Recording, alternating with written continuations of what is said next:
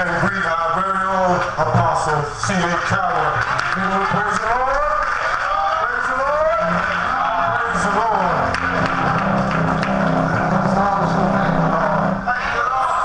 Hallelujah. Can we put our hand together and give God great praise? Hallelujah. The Lord is worthy of our praises, isn't it? Amen. I wish you could just give him another praise and tell him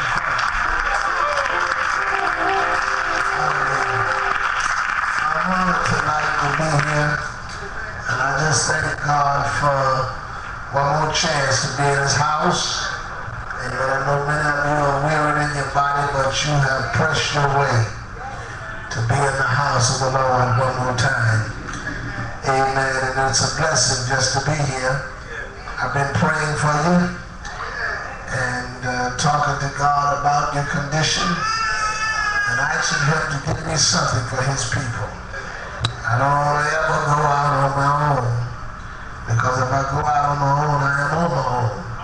But I want to go with Jesus. Hallelujah. How many of you just thank God tonight for being on your side? Hallelujah. Thank Him for being with you.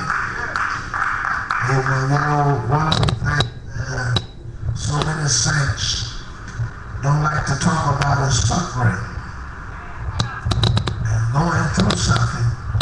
But Bible all that live godly shall suffer persecution. Amen. If you're not suffering something, amen, you better check out and see if you're living godly. Because every godly person is going to go through something. You believe Jesus is soon to come? How many of y'all believe he's coming back? Amen. How many of you know he's coming Amen. I want to be ready to meet the Lord when he come back. Amen. He comes back for a church that doesn't have a spot and don't have a wrinkle. Amen. And it's time that we get ourselves sober, get our minds together, girdle up our loins, and know that Jesus is coming. Amen. Your lieutenant, thank you. Amen. I've been praying and standing before him, asking him to make me ready. I hope you've done the same thing. Amen. Uh, because I'm going to tell you, you can't make it by yourself. You need the Lord. How many believe that tonight? You need the Lord, say, Lord, I need you. You are not say it just because I actually said. you're to say it me and say, Lord, I need you. You know, there's a spirit out in this world.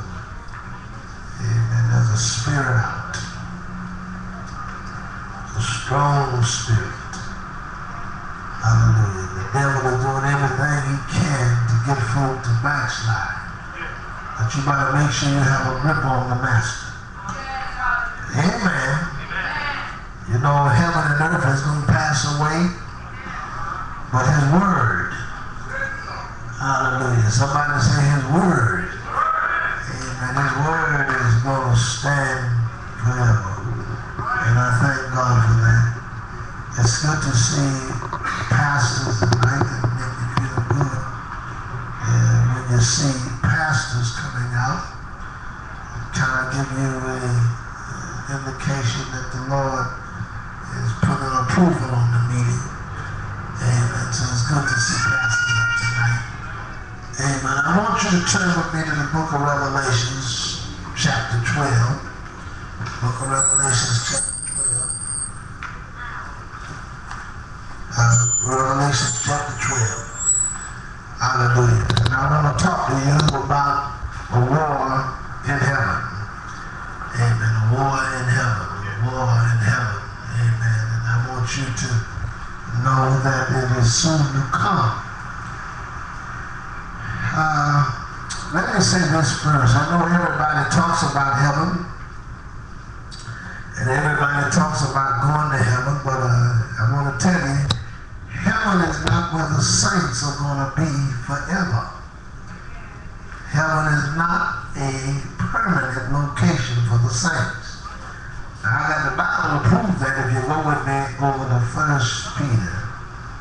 First Peter. Uh-huh. Let's see, Second Peter. Amen. Y'all gonna follow tonight? Second Peter chapter 3. Uh, there's a lot of folk who have uh, talked about heaven and they see heaven as a permanent location. But in 2 Peter chapter 3 and verse number 10 it says, But the day of the Lord will come as a thief. Y'all follow me?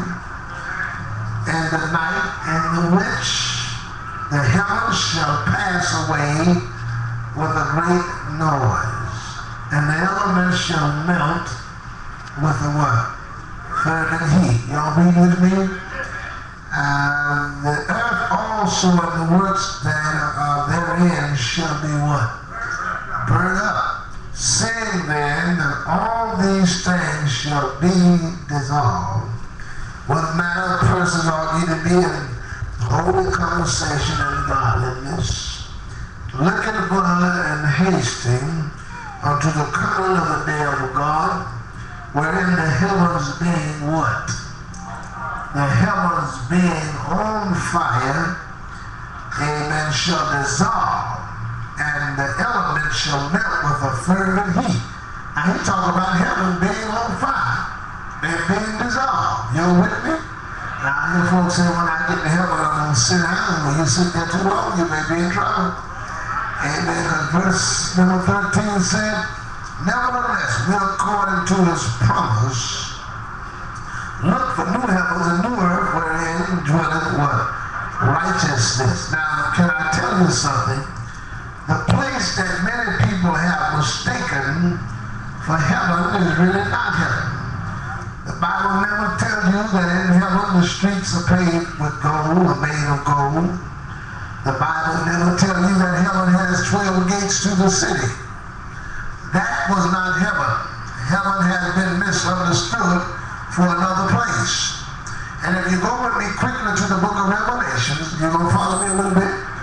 Go with me quickly to the book of Revelation. I'll prove everything I'm saying. Go with me quickly to the book of Revelation, chapter 21. And it says, and I saw a new what? Heaven and a new earth. For the first heaven and the first earth was what? And there was no more what? Now watch verse number two. And I, John, saw the holy city. Y'all with me?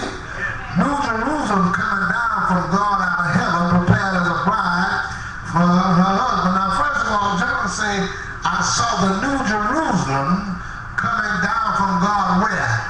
Out of heaven. So the New Jerusalem in heaven is not the same place because John said he saw the New Jerusalem coming out of heaven. You with me? Uh, in verse 3, and I heard a great noise out of heaven, saying, Behold, the tabernacle of God is with man, and he will dwell with them, and they shall be his people, and he and God himself shall be with them, and be their God. And God shall wipe away all tears from their eyes, and there shall be no more death, neither sorrow nor crying, neither shall there be any more pain, for the former things are passed away. And he that sat upon the throne said, Behold, I make all things new. And he said unto me, Write, for these words are true and faithful. You don't follow me. And I said unto me, It is done. I am Alpha and Omega, the beginning and the end. I will give unto him that is the athirst of the fountain of waters of life freely. He that overcomes shall I shall inherit all things, and I will be his God, and he will be my son. But the fearful, you with and the unbelieving, and the abominable, and murderers, whoremongers, sorcerers, adulterers, and all liars shall have their part lake which burneth with fire and brimstone, which is the second death. And there unto me, uh, and there came unto me one of the seven angels which had the seven vials full of seven last plagues, and talked with me, saying, Come hither, and I will show you the bride, the Lamb's wife.